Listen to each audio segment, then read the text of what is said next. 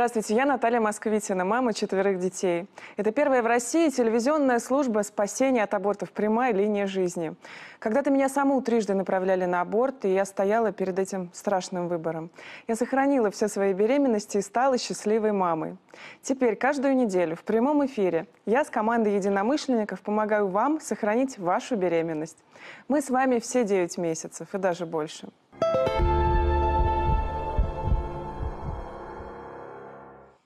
Ну и, конечно, я напоминаю всем, всем вам, что мы на связи всю неделю, не только наш эфир, но и день, и ночь вы можете нам и писать, и звонить. Обязательно будем помогать. И психологи, и юристы, и врачи, и священники помогают не только словом, но и делом. Так что не бойтесь к нам обращаться, звонить, писать. Обязательно поможем. Обязательно будем искать все меры поддержки, которые можем найти. И даже которые не можем найти, все равно будем, будем с вами рядом просто держать за руку и сопровождать. Потому что самое главное в жизни – любой женщины и любого мужчины – это родительство. Так что ничего бояться не надо, мы с вами. Ну что же, мы начинаем наш эфир. Э, с нами сегодня гости нашей программы. Есть гости, которые у нас э, уже много раз были. Отец Василий Гелеван. Да, но сегодня с нами и Ольга, народная артистка, и Ольга э, психолог, и Виталий юрист. И все сегодня будут брать слово, будут говорить. Важно услышать ваш голос, важно важно, чтобы вы к нам написали, вы к нам позвонили, мы услышали и э, ну, просто были рядом. Давайте я начну эфир, как всегда. У нас есть хорошая традиция. Я зачитываю письмо, и э, мы подключаемся. Письмо у нас первое непростое. Добрый вечер. Меня зовут Анна. Забеременела в нетрезвом состоянии от женатого мужчины, а у него ВИЧ. Решила скрыть, э, скрыть это от него, но потом рассказала и узнала его жена правильно ли, ли я поступила, что родила. Вот такой вот вопрос, э, отец Василий. Ну, на самом деле, даже вопрос не совсем стандартный. То есть я думала, будет вопрос про то, что ВИЧ или еще что-то. Но вот вопрос, правильно ли женщина сделала, что родила этого ребенка? Как бы вы ответили? А, ответ здесь очевидный. В любом случае, выбор всегда положительный. И мы свято верим, что зачатие – это акт не только человеческой деятельности. Здесь обязательно есть и Божья воля. Другое дело, что человеческая воля оказалась, ну как бы это просто сказать, ну немножко греховная, а может быть немножко, кто как уж это будет осуждать, но судить мы не имеем права однозначно. Угу. И нет никакого смысла друг друга осуждать. Есть смысл поддержать, есть смысл пожалеть, есть смысл постараться, ну если не понять, то хотя бы во всяком случае, ну подсказать человеку. А ведь многие люди живут и даже не знают, что можно жить по-другому. Что, оказывается, можно жить в целомудрии, можно жить в любви, в чести. Просто люди невоспитанные. И вот это вот такое невежество, к сожалению, приводит к подобным вещам. Но уж коль скоро привело, то уж привело. Надо постараться извлечь пользу из-за того, что Бог дал. А Бог дал что? Во-первых, ребенка. Слава Богу, новая жизнь. Во-вторых, осознание покаяния, потому что, я не знаю, друзья, как вы сейчас прочувствовали в этих словах, но я прямо очень, как священник, кожей прочувствовал глубокое сожаление о том, что все именно так вышло. Каждый человек мечтает о прекрасном, и девушка, конечно, мечтает о том, чтобы вот это священное действие, зачатие произошло с любимым человеком, с мужем, желательно, чтобы это был благословленный брак, и чтобы это было окружено любовью и нежностью. Но, коль скоро этого нет, она очень сожалеет об этом. Я хочу только добавить еще кое-что. Вот к этому сожалению добавить покаяние. Искреннее, настоящее. В храме, когда ты придешь и перед аналоем с крестом и Евангелием, вы, вы, выскажешь это все. И попросишь у батюшки, помолись, батюшка, благослови. Я вижу свои конкретные вот недочеты, что вот так случилось. Я очень хотел бы, чтобы Господь это все изгладил из моей души. И я очень хочу с этим ребенком жизнь прожить, чтобы на нем не отразились мои ошибки.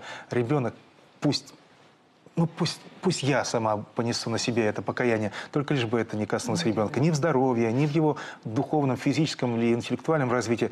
Пусть он будет счастлив. И мы, конечно, тоже поддерживаем, конечно, желаем этого. Ой, спасибо большое. Такие слова просто бальзам на душу. Вот я тоже очень прочувствовала, что вы сказали. Я хочу к Ольге Михайловне вопрос такой обратить. Вот пишет нам женщина, да, она, ну как-то вот, ну я подозреваю, что очень сильно переживает, да? Да, Но да. ведь мы слышим такое количество звонков от женщин, которые прервали беременность, да, и все в их жизни вот шиворот на выворот пошло, да, как бы вот вразумить, чтобы даже не сомневалась, что все правильно, потому что бывают такие горькие ошибки. Да, вы знаете, вот батюшка сказал очень правильно, что ответ тут однозначный. Как мы вот все отнесемся к поступку этой женщины? Однозначно, я думаю, каждый человек на земле поймет, что появление ребенка это стоит уже всего. Вот что бы там ни было до этого события, что бы ни было. И мне кажется, что что очень хорошо, что сейчас вот подобные программы, они дают возможность иногда разобраться неокрепшим, очень неокрепшим душам. Когда я была, допустим, совсем молодая в мои, в мои молодые годы, э, как-то многое другое втемяшивалось нам в голову некой пропагандой. Понимаете, вот э, считалось, что есть очень много важных вещей, и никоим образом не вот эти ценности. Не то, что там говорили, не надо детей, так не говорили, но но никто никого не призывал к тому, что э, детей надо и, и необходимо, и дети самое большое счастье, и все. Как важна сила вот внушения. Например, у меня племянник, э, у них трое детей, они верующие с женой. А материальное положение очень э, такое слабое материальное положение. Но он уже, как говорится, наученный, пришедший к вере, он говорит – Бог, Господь дает ребенка, Господь даст и на ребенка. Известное, да, такое выражение. Но что самое главное, это реально происходит в жизни. Вот у них трое. Э, каждый ребенок рождается, и кажется, боже мой, сколько же это будет э, проблем, где брать деньги, он еще не окреп материально совершенно, но все откуда-то берется. Вот это откуда-то? Ольга Михайловна, вот я тоже об этом думаю, потому что у нас, слава богу, шестеро детей. По Слава таким Богу, меркам, да. какие вы сейчас сказали, мы вообще не имеем права не то что рожать, мы даже и жениться не имели права из таких, что у нас очень низкий, так сказать, э, достаток. Но, вот правильно говорит племянник, Бог даст дитя, даст и на дитя. Я вот думаю, а как это происходит? Вот если постараться увидеть эту анатомию, этот механизм через тетушку, Через дядечку. Конечно. Вот конкретно через вас, через Бог, еще как. Бог и через это все людей. происходит. Да, Бог через людей. Я счастлива, что я в этой цепочке тоже существую в помощь этим деткам, но дом-то вырастает, они сами его строят, дом вырастает, и он, главное, наполнен детскими голосами, понимаете? Ольга Михайловна, сейчас вас обрадую. Вы еще в нашу цепочку теперь включились, теперь, но да. с телезрителям надо помогать. Да, так что да, да, у нас такая цепочка так добрых дел. У нас есть звонок. Здравствуйте. Здравствуйте. Как вас зовут? А, меня зовут Екатерина. Очень приятно, мы слушаем вас. Мне тоже.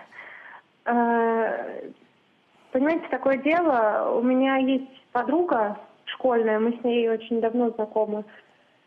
И дело в том, что не так давно она сделала аборт, и я не смогла ее отговорить. Э, к сожалению, у нас с ней очень сильно расходится мировоззрение – вот. И я себя до сих пор виню, потому что я могла как-то на это повлиять, а все равно не нашла каких-то нужных слов, что ли. Может быть, я слишком сильно давила, не знаю. Вот. Что бы вы могли посоветовать, как как с этим справиться и как да, как жить с этим? Да, да, да, хороший вопрос, правда. Действительно, это тяготит тех, кто даже не делал аборт, ну как бы сопричастен человек, да, пытался отговорить, а не получилось. Ольга, как с этим жить? Ну, я думаю, что все-таки нужно понимать, что другой человек обладает своей волей и вправе поступать со своей жизнью так, как он считает нужным, даже если вы понимаете и знаете, что это неправильно. Да? И вот вы сделали все, что вы смогли по максимуму, да, то есть вы отговаривали, переубеждали, может быть, еще там, рекомендовали психологов, но человек все-таки сам выбрал, и ему придется самому столкнуться с последствиями того, что он сделал. И, возможно, в дальнейшем, когда она придет с раскаянием, э, с проблемой, с тем, что она не может забеременеть, либо еще какие-то другие проблемы у нее душевные, психологические, вы сможете оказать ей эту помощь. Вы очень тонко заметили. Вещь, на самом деле, не только практичная, но и явление именно богословское. Господь, Творец, даровал нам и душу бессмертную, тело, и свободу воли. Вот тоже задумаемся иногда, а почему так, что враг рода человеческого, он вторгается – в душу, в сознание. без всякого спроса, без церемона, как вот написано, реклама прямо мозг. Бог никогда так не поступает. Бог говорит, чада, отдай мне твое сердце. Бог хочет добровольных, не так, как говорят, ни вольник, ни богомольник, именно добровольное послушание Его воле. А что такое послушание Божьей воле? И тоже думаю, а как, ведь у меня есть своя воля, да? Пусть она исковеркана, неправильно, но она моя, и ее даже Бог не нарушает. А показывается, согласно святым отцам, самое главное – это научиться унифицировать свою волю с божественной. Когда говоришь «да будет воля твоя», это означает «пусть я пожелаю того, что мне полезно для спасения». Ты хорошо знаешь об этом. Пусть я пожелаю этого. Но вот смотрите, у нас сегодня два вопроса, да. А Первый вопрос, он, мне кажется, более оптимистичный, потому что как бы ни было сложно у этой девушки, какие бы Да, грехи она не совершила. Знаете, грех буквально это означает промах мимо цели. Вот как лучник берет, стелится и стреляет. И он промахнулся. Вот так и здесь. Мы призваны к спасению. Но в данном случае мы так промахнулись. Вот мы с вами говорим, в общем-то, все время про одно. Каждый понедельник собираемся и говорим, что важно рожать. Но вот как не промахнуться и нам? Ведь многие из людей, которые тут присутствуют, они как-то в общественной жизни принимают участие. И вот как правильно э, сформулировать свое целеполагание? Да? Вот что сейчас, э, Виталий, происходит в общественной жизни? Какие инициативы продвигаются, которые вот э, э, четко намечены на цель снижения абортов? Ну, прежде всего, э, уже на протяжении 20, последних 20-30 лет остро стоит вопрос, связанный с выведением абортов из системы обязательного медицинского страхования. Я вот недавно перелистывал стенограммы заседания Государственной Думы, практически 20 лет назад, это было в 2004 году, где обсуждалась инициатива депутата Чуева Александра Викторовича, который уже тогда предлагал это сделать. Это очень смелый государственный шаг А как его тогда он не, восприняли, он, не популя- он не популярный был. Э, Его восприняли Видите, очень остро, очень остро, и что вызывает определенное удивление, не поддержали даже представители медицины, которые э, императивно сказали, законопроект не поддерживать. И мотивирует это чем? Якобы то, что завинчивание гаек приведет к якобы нелегаль, э, нелегальным абортариям. Э, Другой вопрос, что подразумевается под нелегальными аб- абортариями. У нас в определенной мере сейчас они запрещены на уровне 123 статьи Уголовного кодекса. То есть это незаконное производство абортов, и очень жаль, что это слово исключили. А что произойдет, людьми- если вот сделали такой незаконный аборт? Теми, что будет с директором? теми людьми, которые не имеют медицинского образования.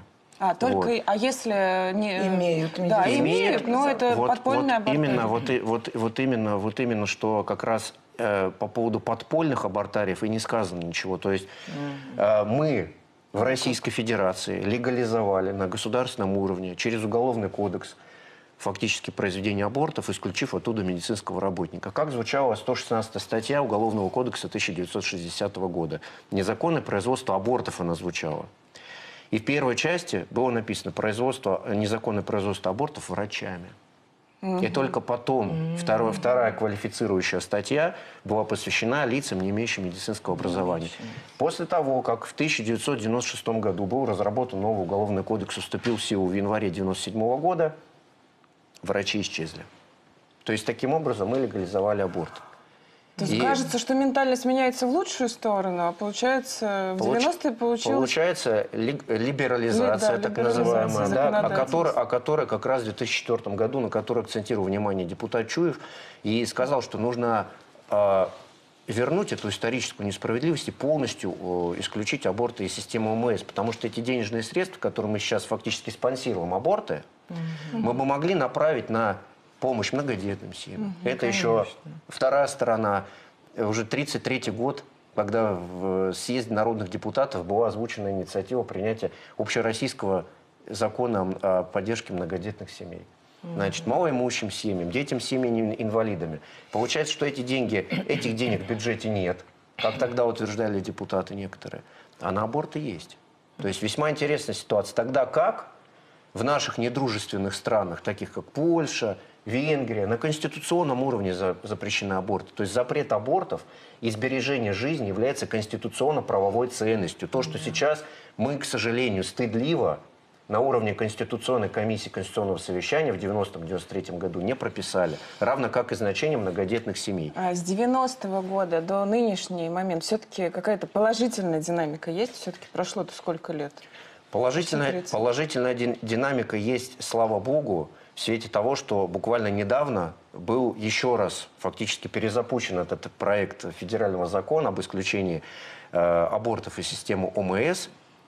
Нашлись опять противо- э, те люди, которые, депутаты, которые противодействуют этой идее. Но отрадно то, что президент Российской Федерации и наш спикер э, Государственной Думы и Валентина Ивановна Матвиенко, они все озвучили одну идеологему, что действительно сберегать жизнь можно только путем запрета вот тех разрушительных идеологем, которые влияют на продолжение жизни. А можно я задам личный вопрос? Вы такие слова говорите, вот, знаете, умные, а вот э, по ту сторону экрана сидят женщины, которые думают, вот пойти завтра на аборт или нет. Вот скажите, Виталий, а у вас была такая история в жизни, что вот вы какую-то конкретную женщину или семью от аборта отговорили?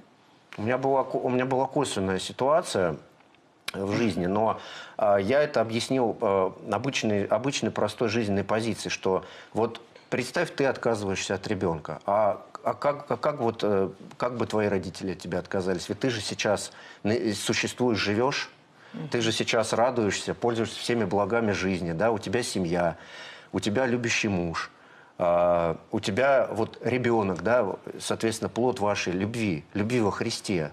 Ведь это э, Богом данная нам ценность. Как вот относились бы родители к тебе, а как бы бабушки относились к твоим родителям, а как бы Сохранила? твои... Сохранила? Сохранил. А как А бы сколько лет про, уже? про, про бабушки? Уже, наверное, лет 10. Ой, спасибо большое. Золотые слова. Просто вообще все люди, которые выступают за аборт, они, как ни странно, когда-то родились, и теперь вот эти слова говорят. А другие, которые не имеют права голоса и находятся в утробе, наши дети, они сказать не могут. Ну что же, мы не выступим в их защиту. Конечно, мы будем помогать рождаться детям. Небольшая пауза, давайте об этом подумаем. Не переключайтесь.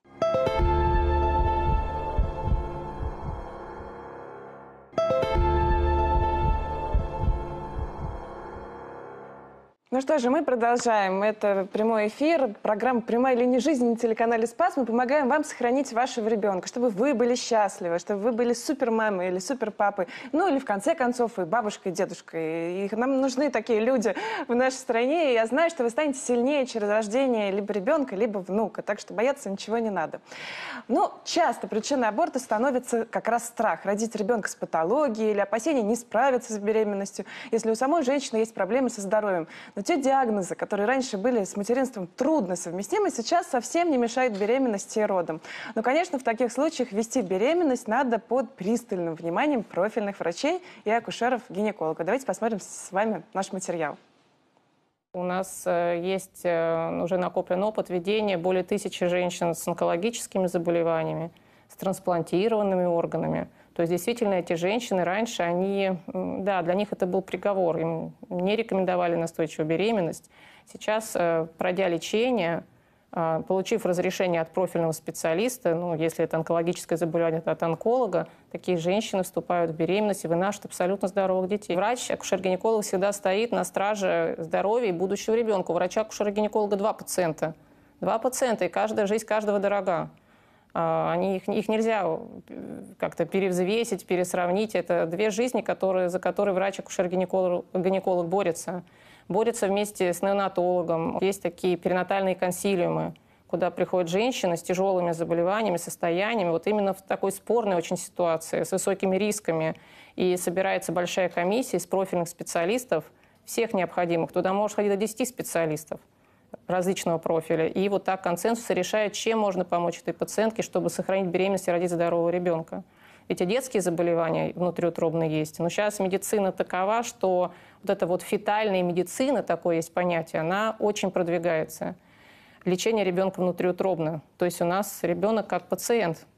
И э, фетальная хирургия, которая позволяет при некоторых заболеваниях э, очень быстро развивающаяся область, при э, тяжелых э, пороках, таких как э, спина бифида, это расщепление позвоночника, диафрагмальная грыжа, э, синдром, э, различные синдромы у монозиготных близнецов, когда без этих вмешательств э, жизнь ребенка, в общем-то, спасти не удастся.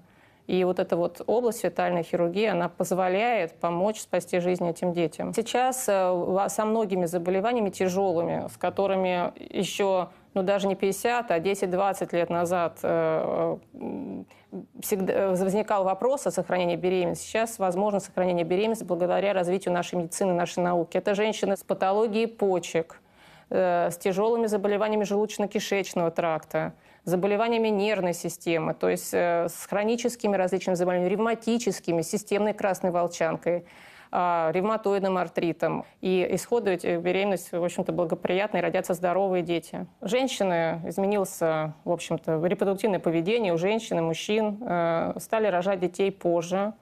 Сейчас средний возраст рождения первого ребенка приближается к 30 годам. И вот я хотела немножко бы нашим слушателям рассказать об этой проблеме. А, Все дело в том, что возраст, как женский, так и мужской, является краеугольным камнем успехов в репродуктивной медицине, вообще репродуктивных успехов. Ну, приведу простые цифры, с цифрами не поспоришь. Уже после 30 лет а, способность зачать у женщины снижается в два раза. Примерно на 5% в год жизни женщины. И после 40 лет уже фактически стремится к нулю.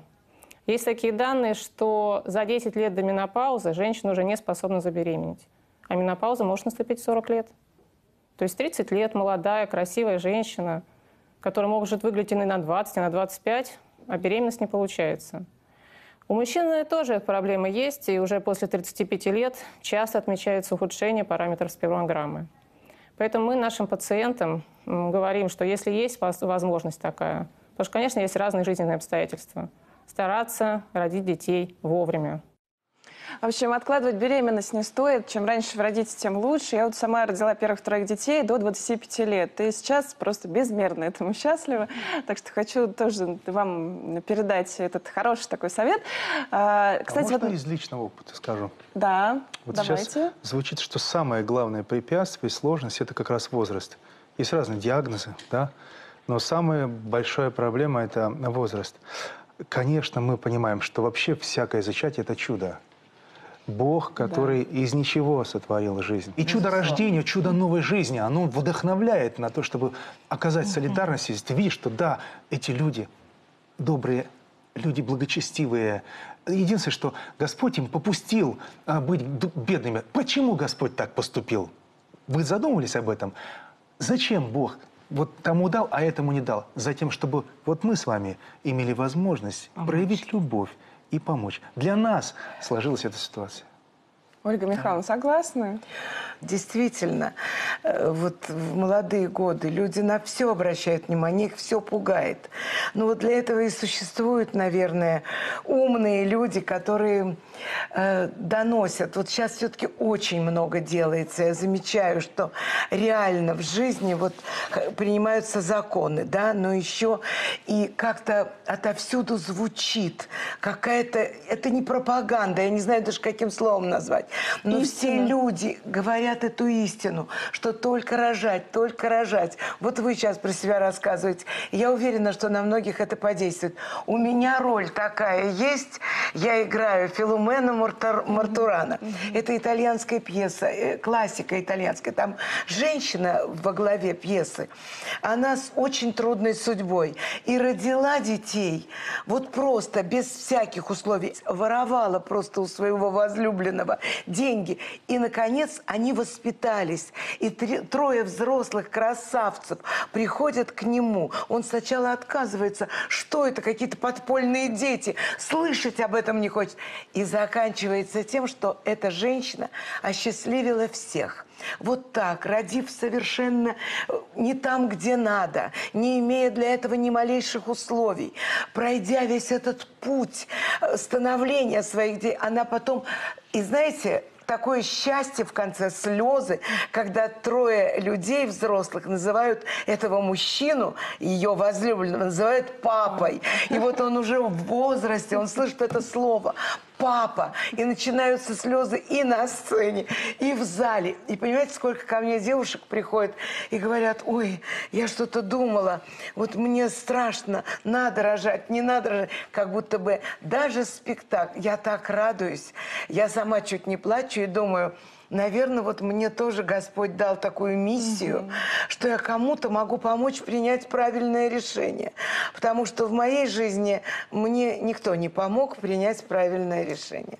Это было, ну что делать? Не будем об этом, а не будем о грустном, но то, что мне вот дано сейчас, даже ролью этой, могло у меня этой роли не быть, а она есть. Что бы вы могли сказать этим женщинам, которые сидят и сомневаются, Ой, боятся? вообще, я сейчас так, э, пройдя такой большой путь жизненный и все, и размышляя много, на это, я, я считала бы, вообще ничего не имеет значения. Ни здоровье, как сказала до- доктор э, замечательно, что э, даже вот больные какими-то, женщины больные болезнями какими-то неизлечимыми, рождают здоровых детей. И всякое случается. Бывают очень драматические вещи. Когда мать, допустим, на, мою- на моем жизненном пути встретилась такая история, что женщина умерла, ушла из жизни, родив двойню. Только родила, актриса прекрасная и все только родила двойню, здоровых двух мальчиков, и сама в 33 года покинула этот мир. Это страшная история. Но все равно, как подумаешь, она вот болела уже на самом последнем этапе. И она говорила, если бы ей сказали, там, допустим, вернуться в точку изначальную, отказалась ли бы она от этих детей? Вы можете себе представить, мне прям даже больно говорить, ценой своей жизни. Она говорила, что она этот путь прошла бы снова. Только бы родились эти два младенца. Какая история. Да. Это святая женщина. Это Вот святая. И воспитывали потом этих маленьких малюток. Не папа там, нет. Воспитывала ее мама, ее сестра. Они воцерковленные люди. Я их знаю, вижу. Это потрясающая история. Но самое главное, что она, познав материнство, она сказала, она бы прошла снова весь путь, лишилась бы жизни, но дала бы жизнь этим двум младенцам. Ну, по-моему, ответ на все вопросы. Просто сразу. Это пример христианской любви, где в основе лежит жертвенность. Э, Надо положить э, душу свою за других. А что такое аборт? Это когда ты себя ставишь на первое место и жертвуешь своим каким-то удовольствием, э, Сохраняешь приносишь в жертву своих детей. Знаете, не себя в жертву, а все наоборот. Ольга, вы очень много общаетесь с женщинами, которые сомневаются, которые вопреки самым разным драмам берут и сохраняют. Да? Вот расскажите тоже какую-то историю, которая вас потрясла, к которой вы возвращаетесь через годы. Ну, самая потрясающая история из всех, это была, конечно же, работа с женщиной, которая на восьмом месяце беременности приехала в Москву делать аборт. Да, это, то есть была у нас э, такая ситуация.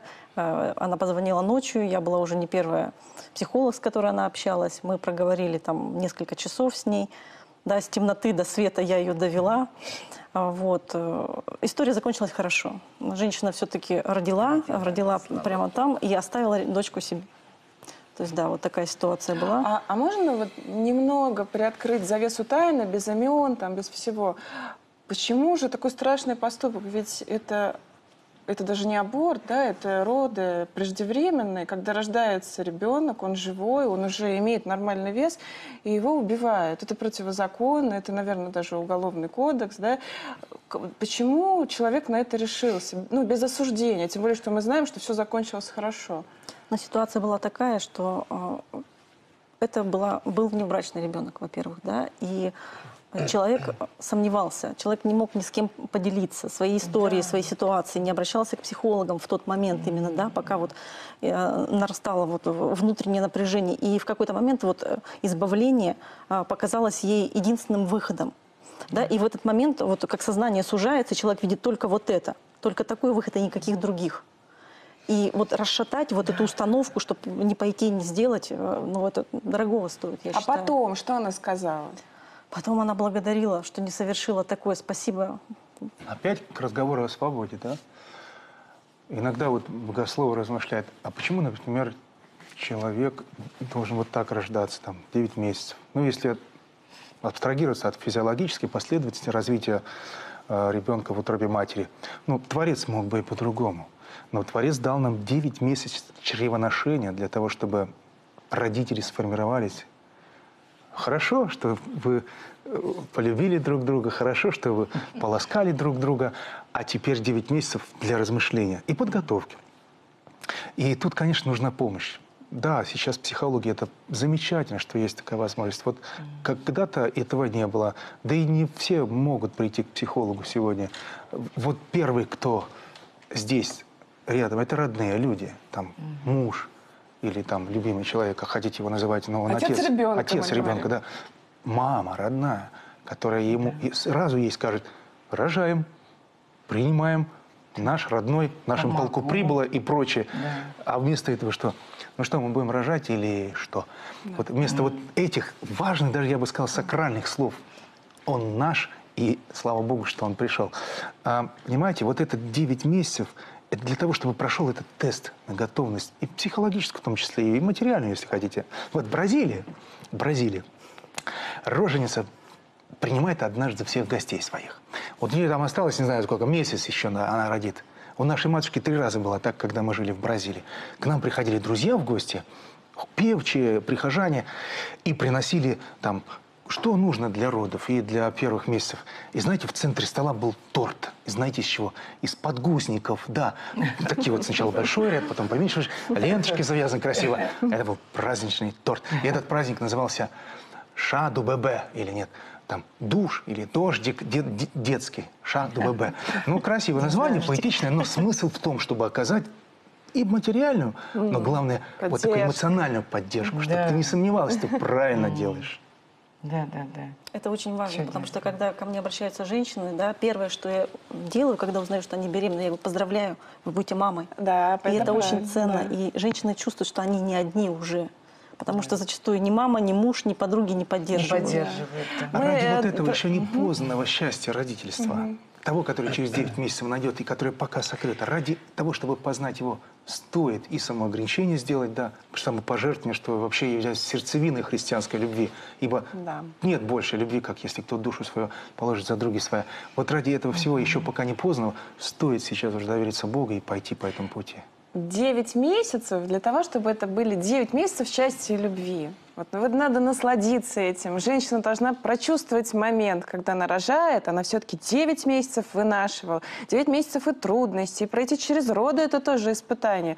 Но когда ты уже берешь его на руки, ты понимаешь, что это такая драгоценность. Да? Мама готова, не знаю, ну, простите, загрызть, наверное, за своего ребенка, потому что ну, ничего дороже у нее нет. Это, это правильная установка. Конце концов, ребенком благословляет Господь. Поэтому, ну какой тут страх, друзья? У нас столько силы, мы справимся, конечно. У нас несколько минут паузы, чтобы подумать, поцеловать своих детей и решиться на нового ребенка. Почему бы нет?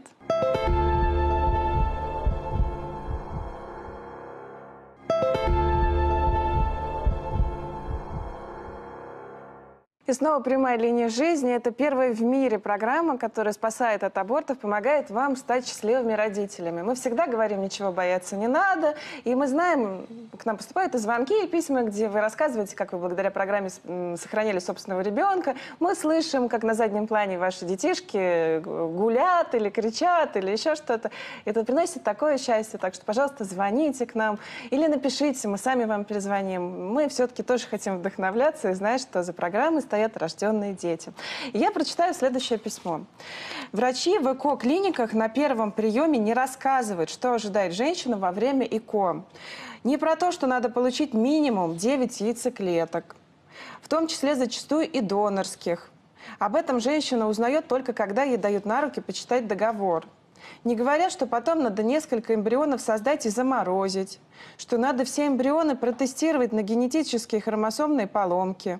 Это примерно 60 тысяч рублей за первый эмбрион и по 25 тысяч за каждый последующий.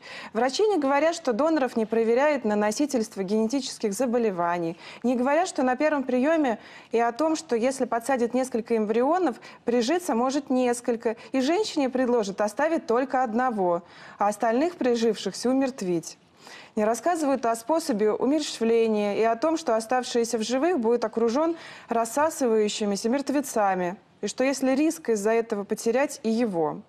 Женщине просто говорят, вы хотите детей? Мы умеем делать ЭКО. В договоре на ЭКО прописывают, что клиника не несет ответственность за здоровье ЭКО детей. Также в договоре написано, что до сих пор нет научных данных о влиянии заморозки половых клеток и эмбрионов на здоровье будущего человека. Господи, какое письмо! Я просто счастлива, что это написали. Наконец, человек, который сам с этим столкнулся, он недоволен этим всем процессом, таким вызовом современного общества и предупреждает всех нас, что так делать не надо. Я напомню, что наша программа 4 года назад началась с того, что к нам написала женщина, которая забеременела в результате ЭКО, ей было 39 лет, она была беременна, беременна двойне, но еще 6 эмбрионов у нее было заморожено. Она звонила и плакала, и говорила, что да, эту двойню я рожу, но смогу ли я родить всех остальных детей в силу возраста, это э, вопрос без ответа, или скорее даже с отрицательным ответом. Что делать, говорила она нам, батюшка, помогите, потому что это страшный грех. Вот, в общем, одна коммерция. Я читаю письмо и понимаю, коммерция, больше ничего. Какая этика? Кто с этими женщинами разговаривает? Принесите денежки, да? Как это у Корнея Чуковского. А за обедом я ваших детушек э, скушаю, да? Кажется, так это говорится. Отец Василий. Но это большая а, этическая проблема, большая моральная проблема. Загоняют женщину в ловушку. Хотят женщины иметь детей. Ну, это как бы нормально, да, от природы. Ну, если она не может родить, где-то она а, уже, ну, знаете, отчаялась. Да? Она не знает, что можно в церковь пойти. И вот тут раз и ее ловят. Принеси нам деньги, мы тебе обещаем детей. А часть детей мы убьем. Она не только об этом не знает, да, она и вот вряд ли слышала раньше вот все эти слова, которые сейчас зачитала в этом письме. Действительно, лукавство присутствует, в том числе и для того, чтобы приобрести клиента. Но я смотрю поглубже. Почему вообще стало возможным такое в результате богообступничества, отступничества? Когда в послании к римлянам, в первой главе мы читаем, мы видим, как святой апостол рассказывает, что люди перестали чтить Бога, и в результате Бог отошел от них. Но в результате того, что они без Бога, они потеряли рассудок. Эти же вещи совершенно безумие. Вот Слушаешь и поражаешься. Это какие должны быть страсти, чтобы привести вот к такой кульминации? Страсть гордыни, безусловно, конечно, стать наравне с Творцом. Я человек, я могу. На самом деле не можешь, но обманываешь себя, льстишь себе, что ты можешь. И таких дров наломаешь и в жизни человека, и в голове у него, и в душе у него дров наломаешь, что трудно потом будет лечить этого человека и душевно, и психически, и даже физически, и здоровье испортишь этой женщине. Но гордыня. Потом вот это отчаяние, оно ведь только у безбожника. Если ты верующий, у тебя всегда есть упование на Богу, помощь. Ты всегда видишь, что Бог-промыслитель действует в твоей душе, в твоей жизни. Дал тебе дитя, дал на дитя. Не дал. Хорошо, раскрывайся. Потому что мир полон людей, которым нужна твоя помощь. И если Бог не дал тебе физического ребенка, ты станешь отцом духовным, отцом для не одного, двух, а десяти двух или даже больше. Сколько мы знаем таких примеров, когда человек, ну, бездетный или на войне у у человека погибли родные, а она или он стал настоящим отцом или матерью для своих мать. школьных воспитанников, да, и потом они всю жизнь пронесли любовь к нему как к родному отцу или к родной матери. И это только педагогика, сколько сфер развития и деятельности. Приложить твою неизра- неистраченную любовь. У отца Дмитрия дочка всего одна Отца была. Дмитрия Сколько Смирнова. было, да, удочеренных и усыновленных. И Там они сотни, растут. просто тысячи. И они молятся за него. Он им стал родным отцом. Не физически родным, а духовно родным. В общем так, здесь есть... Но почему это стало возможно? Потому что он уповает на Бога. Боже, ты дал мне одного ребенка физического, но у меня столько любви, что я ее отдам другим Да. детям. Виталий, ну вот эти женщины, э, все мы как бы, я, мы, вот эта женщина фактически, я такая же сомневающаяся, такая же трусиха порой, да. Вот, ну я в те свои моменты смогла, но мне было очень сложно. Только вера в Бога меня вытащила. Я помню, как я достала молитвослов и села в коридоре, врач направляла на аборт, и она говорит, сердце не бьется в 6 недель. У меня в сумке был молитвослов. Я села, на скамеечку такую низенькую и стала молиться. Врач выходит, говорит, иди э, на аборт.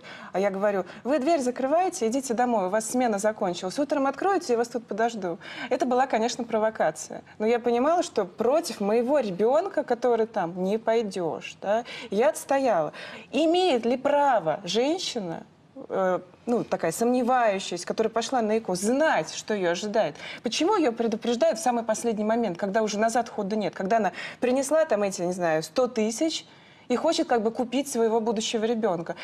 Там сложно отказаться. Это же просто неэтично э, вставить ее перед этим выбором. Почему раньше ей это не говорят? До 2010 года, если мне не изменяет память, у нас вообще не было э, как таковой установленной методики по тому же экстракорпоральному оплодотворению. Ко мне обращалась, об- обращалась девушка с вопросом, а как, а как вообще это сделать можно? То есть у нее э, произошел случай, она не смогла зачать. А, Посмотрев э, подзаконные ведомственные акты Минздрава, ничего не по этому поводу сказать нельзя было. То есть это лоску- лоскутное правотворчество, я это называю, только в комплексном толковании можно было вообще разъяснить, что это такое. Потом в 2010-2011 году Минздрав дал все-таки некий порядок проведения этой процедуры, этого медицинского вмешательства.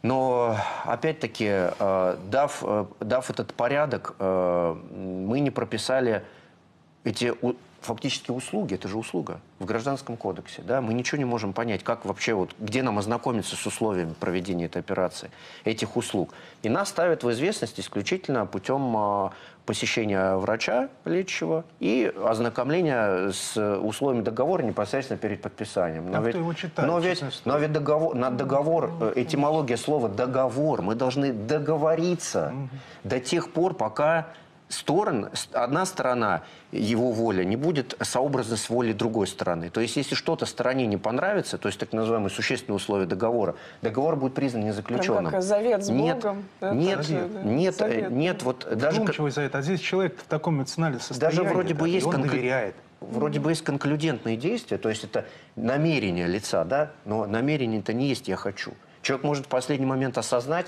остановиться, задать вопросом, что же я делаю, что же я творю. Вот это вот очень важный момент. Я бы тут остановилась, потому что все-таки я вот всегда выступаю за рождение детей. И я понимаю женщину, которая говорит «я хочу». Но тут важно внутри какой-то вот стоп иметь, знаете, совесть. Да? Она всегда подсказывает.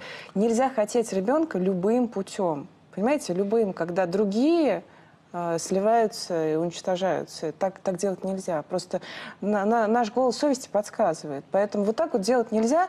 Но если вдруг вы не можете родить ребенка, вы всегда можете усыновить. Ес- Если у вас позволяют возможности, вы можете взять под опеку целый детский дом, например. Как и сделал, например, отец Дмитрий Смирнов. Но у нас пауза, такая стандартная пауза, чтобы мы могли просто переварить всю эту информацию, подумать и дальше начать помогать и принимать ваши звонки. Thank you.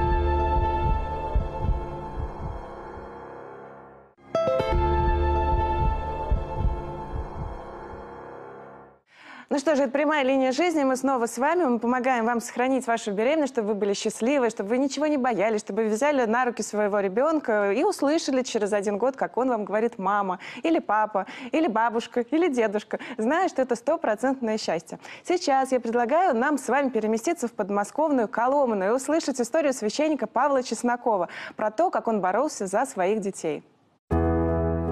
В семье священника Павла Чеснокова из подмосковной Коломны семеро детей. В день нашей съемки собрать всех семерых не получилось, но батюшка поделился радостной новостью и рассказом о том, как непросто давалось счастье родительства и как буквально за каждого ребенка шла настоящая битва. Самый яркий такой эпизод – это первая беременность. А, Дело в том, что когда я женился, моей супруге было 18 лет, а мне было 22. Да и она совсем юная, и э, у нее первая беременность очень, очень тяжело протекала. Она несколько раз попадала в больницы, вот и угрозы были, и всегда. Ей говорили, «А давай сделай аборт. Ты такая молодая, да куда тебе, зачем? Ну вот как-то я об этом изначально не знал, но когда мне супруга рассказывали, мне это было дикостью, потому что она, во-первых, замужняя женщина уже, хоть и совсем юная. И почему медики позволяют себе какие-то такие, не то чтобы даже советы, они настаивают, говорят, ну куда, ну давай, зачем тебе это надо, то есть пытаются даже уговорить. И очень тяжело, наверное, юной девушке побороть э, вот этот натиск, этот напор со стороны медиков. Но опять же мы выстояли, с Божьей помощью справились. Отец Павел, как священник, который принимает исповеди, знает, насколько часто женщины каются в том, что когда-то смолодушничали и прервали маленькую жизнь. Какими горькими бывают слезы раскаяния, и насколько грех аборта страшен, а последствия необратимы. Ну, во-первых, дети – это благословение Божие. Э, Ребенок, когда появляется, это не только ведь решение родителей, а ведь в первую очередь это решает Господь, кому дать ребенка, а кому нет. И поэтому не нужно никогда задумываться о том, сколько должно быть детей. Господь решит, сколько. Вот если Господу угодно, что вот у меня на данный момент семь детей, это решение не только мое, это благословение Божие. Отец Павел говорит, что его семья не роскошествует, но все необходимое есть, и за все благодарность Богу. Есть у меня один знакомый мальчик, он ко мне э, подходит и спрашивает, ну что у вас нового есть, что, вы что-нибудь новое купили? Вот у меня PlayStation есть новый. Я говорю, у меня вот малыш новый есть, Георгий. Вот он в прошлом году родился, в этом году ему уже годик исполнился. Я говорю, смотри, ну, у него есть старший брат, э, брат его старше, но больше, чем на 15 лет. И получается, ну, у него есть все, а вот он один. Отец Павел и проповедями, и своим личным примером старается показать удивительную красоту жизни в большой семье и считает это высшей и неизменной ценностью. Вот Господь нас говорит, нам говорит, э, где будет сердце ваше, там будет и душа ваша. Мы должны стяжать дары для Царства Небесного. Что мы можем взять с собой в Царство Небесное? Можем взять дорогой автомобиль, там шикарный ремонт или там какую-нибудь обстановку, тут же PlayStation. Мы же не возьмем. А вот те, которые с нами рядом, наши дети. Наши, они не совсем наши, их нам дал Господь, они Божьи. Но наши души уже навсегда родственные. Вне зависимости от того, сколько пройдет веков. Все мы рождены для того, чтобы унаследовать Царство Небесное. Но если мы, конечно, этого заслужим. И вот, конечно, от той мысли, что истинное богатство – это тогда, когда у тебя большая семья, ну, просто мурашки по коже бегут, потому что это будет всегда с нами. Мария Чугреева, Виталий Пересыпкин, Ксения Костина, телеканал «Спас». Вот действительно истинная драгоценность – это, конечно, дети, наследники, наследуют землю. Вот сколько наших детей наследует, сколько детей будет носить нашу фамилию. Пойдут в первый класс, кто в первый, кто в пятый, кто в седьмой. А они могут быть там и в первом мой ребенок, и в третьем, и в пятом, и там сколько, через год. Представляете, какая ценность от Господа Бога. А нам не оплошать надо. Правильно, Ольга Михайловна? Правильно, да, и очень правильные слова, что с собой мы ничего не унесем. Наша жизнь конечна, вот э, жизнь на земле, а это останется навеки. Это души, родные, родственные. Вот это очень хорошо понимаешь, потому что каждый из нас задумывается о финале жизни. Все равно, какой бы ни был человек, все равно он задумывается, а что, вот что ценного, и как-то все теряет цену, когда ты подумаешь о том, что жизнь все равно равно кончится. У каждого. Никто не будет жить вечно. Но вечными останутся вот, и, вот такие ценности. Вот, вот они будут жить на небе или, я не знаю, в другой жизни. Как правильно Все сказать? рядом. Как правильно сказать? Я хотел бы вот развить эту мысль э, нашего героя о том, где будет сокровище ваше, там будет и сердце ваше. Это слова Христа. да. Смысл здесь как раз именно в этом. Батюшка четко противопоставляет материальные ценности и духовные. Я бы хотел именно усилить вот этот, чтобы уяснить смысл. В чем же здесь духовная ценность? Если вот проведенная игрушка и различные блага жизни, они материальны, но они способствуют тому, чтобы человек получил удовольствие для себя. Удовольствие, радость, отчасти гордыня, потому что кичиться перед друг перед другом, это уже в детстве было и в другой форме, это и у взрослых. Друг перед другом хвалится. И это пагубно для души, потому что называется гордыня. Напротив, напротив. Когда рождается еще один ребенок, это, вот по моему глубокому убеждению, это умножает любовь между супругами еще на один раз. И вот что, вот в этом пути роды, серьезное решение родить, да, но и дальше не менее серьезное решение воспитать, выкормить, дать э, правильное воспитание, дать личный пример благочестия. Все это труд, друзья мои. И этот самопожертвованный труд – это то, к чему мы призваны. Да, в поте лица добывать хлеб свой и именно так в муках рожать, но это то, к чему мы призваны, потому что пройдя через это, мы стяжаем вот эту главную ценность. Наша душа становится способной к любви. Девочки дорогие, что хочу сказать напоследок. Пусть э, сила духа у вас будет. Вот крепитесь, вот поверьте, вот только сейчас, в этот сложный момент, эмоционально нестабильный, когда вы то огурцы, то клубнику хотите. Ну, в общем, понятно, что мы очень странные эти 9 месяцев. Надо собраться с духом и никого не слушать. Слушать только внутренний голос. Это как нам говорит наш ангел-хранитель. Он вам не скажет, иди делай аборт. Он скажет, это твой ребенок. И сражайся, дорогая, за него. Так что ничего не бойтесь, как всегда. Как я традиционно говорю, звоните к нам, пишите. Но и сами в молитве просите этого силы духа. Вы справитесь, и мы с вами все 9 месяцев и даже больше. Встретимся с вами через неделю.